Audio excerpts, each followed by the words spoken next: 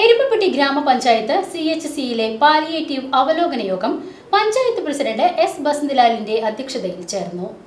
യോഗത്തിൽ panchayat vice president Bindu Girish ആരോഗ്യ standing committee chairperson Sheeja Suresh മെമ്പർമാരായ E S Suresh K B Babitha C H C superintendent doctor E Sushama doctor Rimsin J H ഐമാരായ ജയൻ ബാബു ആശാ വർക്കർമാർ എന്നിവർ പങ്കെടുത്ത് സംസാരിച്ചു. പാലിയേറ്റീവ് നഴ്സ് ഉഷ റിപ്പോർട്ട് അവതരിപ്പിച്ചു. V C Vinoos Erumapetty.